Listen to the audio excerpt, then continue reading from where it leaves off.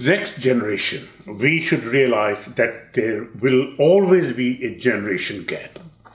And we, the older people, should accept it and try to adjust it accordingly. And we have to give away more than what we should expect from my, our children and our grandchildren. So we should understand that uh, our children are not or have not been brought up in the same circumstances I was brought. And similarly, our grandchildren are being brought up in, in different circumstances, different situation, different facilities, different privileges. So my message is that we should try to adapt ourselves according to the situation, according to the circumstances. People talk about making uh, or getting making some property, investing uh, in property back at, at home in India. That I don't believe. Where you live, believe in the place, and be loyal and sincere. Don't forget, you came here. They didn't call you here. So it was your choice to come here, not the government choice to uh, to bring you here. So live according to your circumstances. Be faithful to the place.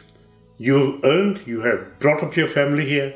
You have brought up your children. Your children have, have got the best possible education here. And let them get what they think is suitable for them according to their availability and according to their circumstances.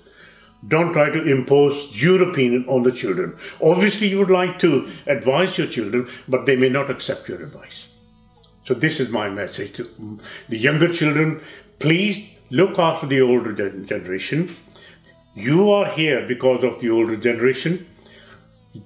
They, they, they taught your parents who are doing their best to teach you now and I understand you are under pressure from the circumstances, the uh, situation, the education system is different, the technology has advanced so much that you have you are busier pushing the buttons on your iPad or on your mobile uh, than listening to your talk to your parents, talk to your grandparents, particularly because your grandparents love you most, even more than your parents, though your parents also love you.